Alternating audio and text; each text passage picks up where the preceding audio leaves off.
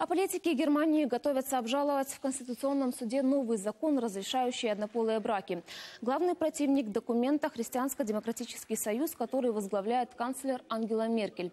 Также подать иск намерена партия «Альтернатива для Германии».